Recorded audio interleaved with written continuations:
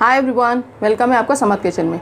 आज चलिए हम लोग बनाते हैं मुगलई अंडा पराठा, जो सबको बहुत पसंद है, बच्चों को भी पसंद है और बड़ों को भी बहुत पसंद है। और बनाने में भी कोई ज़्यादा मुश्किल काम नहीं है और ब्रेकफास्ट के लिए बहुत ही अच्छी रेसिपी है। तो चलिए देखते हैं क्या क्या सामान हमें इसके लिए चाहिए। तो इसके लिए चाहिए हमको तीन अंडे, जिसमें से एक को हम बॉईल करेंगे। एक अंडे को बॉईल करना है, इसको हार्ड बॉईल अच्छा सख्त बॉईल कर लेना है। और ये है आटा। यहाँ पे मैंने मैदा नहीं लिया है। मैदा इसलिए नहीं लिया कि वो हेल्दी नहीं होता है खाने में, आटा ज़्यादा अच्छा होता है फाइबर होता है, इसलिए हमें आटा ही खाना चाहिए पूरे गेहूँ का जो होता है।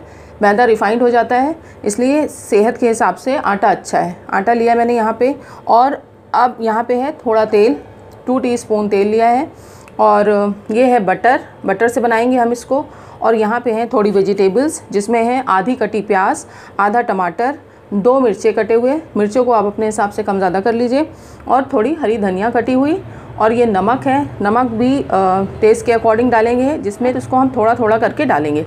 और ये है काली मिर्च और आधा नींबू। तो चलिए बनाना शुरू करते हैं। सबसे पहले हम बना लेंगे। सबसे पहले हम आटा लगा के रख देंगे। आटा गूंद के रख देंगे जिससे वो क्या होगा? थोड़ी देर में पिंच डालेंगे हम नमक। नमक मैं इसलिए आटे में ज़्यादा नहीं डाली हूँ क्योंकि हम इसको बटर में बनाने वाले हैं और बटर में ऑलरेडी हमारा नमक होता है। और अंडे में भी नमक डालेंगे तो नमक कहीं ज़्यादा ना हो जाए, इसलिए नमक को संभाल के डालना है। और ये हमने डाल दिया टू टी स्पून तेल। और ये खस्ता हो जाता है तो चलिए मैं एक चम्मच और बढ़ा देती हूँ खस्तगी आ जाएगी। और इसके बाद इनको अच्छी तरह से हाथ धो लीजिए और फिर इसको मिक्स कर लीजिए। इसको अच्छी तरह से इसमें मिक्स करने के बाद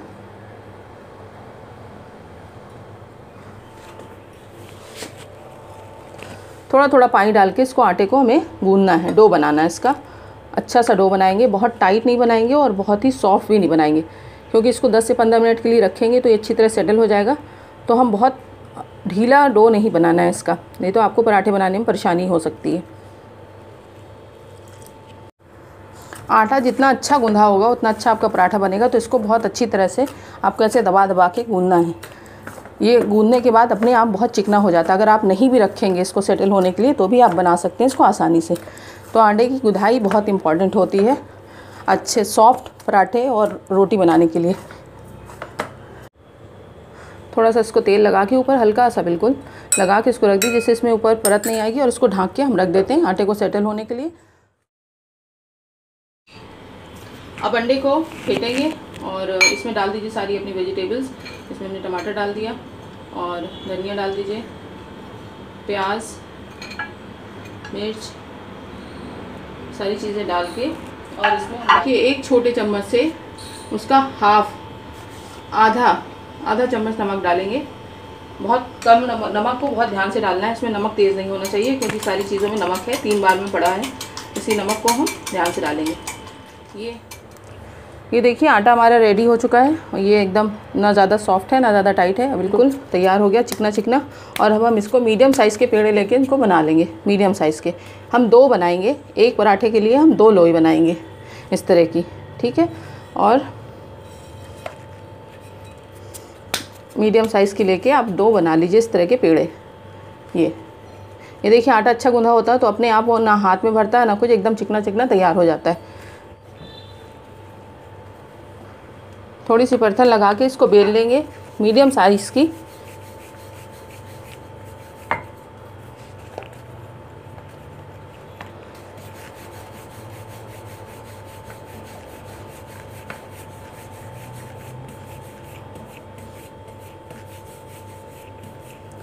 ये देखिए, इस साइज़ का हमने बेल के इसको रख लिया। एक और बेल लेंगे इसी तरह की। दो में, दो रोटी के साथ हम एक पराठा बनाएँगे मिला के। तो ये देखिए, दूसरा भी मैं बेल लेती हूँ। हाई फ्लेम पे पहले पैन को रख के आप गरम कर लीजिए। इसको तेज़ आँच में ही पहले रखिएगा। गरम हो जाएगी अच्छी तरह। फिर इसमें हम पहला एक पराठा डालेंगे अपना और इसको एक दो मिनट तक ऐसे ही सिकने देंगे।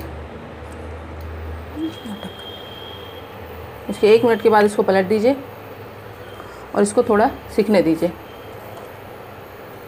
हाँ इसको देखिए इस तरफ़ से पलट के। अब हल्का सेक के हम इसको अलग कर देंगे। आधा सेका होने के बाद हम इसको अलग करके निकाल लेंगे अब दूसरा पराठा भी इसी तरह से सेकेंगे।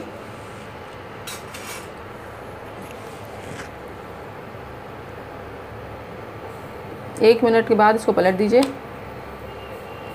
ये हम अपना ये अंडा, ये देखिए इसमें स्प्रेड कर दीजिए इसको। ये बहुत ही मज़ेदार, बहुत ही ब्यूटीफुल और बहुत अच्छा मुगलई अंडा पराठा बनेगा, आप इसको ट्राई ज़रूर करिएगा।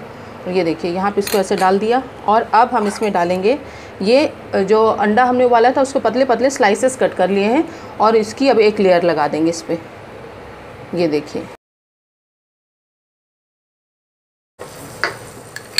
अब इसमें हम देखिए साइड से डाल देंगे बटर और इसकी आँच धीमी कर लीजिए, नहीं तो ये जल जाएगा। बिल्कुल धीमी आँच कर लीजिए अब और इस पर ये लेयर लगाते टाइम इसकी आँच धीमी रखिएगा और यहाँ चारों तरफ़ से इसके बटर डाल दीजिए। काली मिर्च। आँच को धीमी रखिएगा क्योंकि इस प्रोसेस में थोड़ा सा टाइम लगेगा और इधर हमको ध्यान रखना है कि ये जलने ना पाए। तो बिल्कुल आँच धीमी कर लीजिएगा और इसमें डाल देंगे थोड़ा सा नींबू। नींबू अगर आपको पसंद है तो डालिए, नहीं तो हटा भी सकते हैं। और काली मिर्च डाल दिया और इसमें से ये जो पराठा हमने कम सेका था, उस तरफ़ से इसको ऐसे लेयर लगा देंगे। और इसको दबा दबा के ऐसे फ्राई होने देंगे। अच्छी तरह से फ्राई करना है। बस थोड़ी सी आँच बढ़ा लीजिए, अगर आपको लग रहा है कम है तो थोड़ी सी इसकी आँच बढ़ा लीजिए मीडियम फ्लेम पे कर लीजिए और इसको अच्छी तरह से ऐसे फ्राई हो जाने दीजिए। बस ये आपका मुगलई पराठा रेडी होने वाला है। इसको अच्छी तरह से दबा दबा के चारों तरफ़ से सेक लीजिए।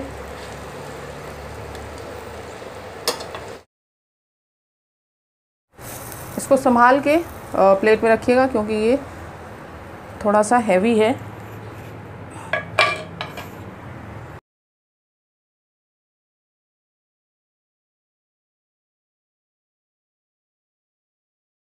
फिलिंग है इसकी, बहुत बढ़िया यमी पराठा रेडी हुआ है। ब्रेकफास्ट में आप इसको एंजॉय कर सकते हैं।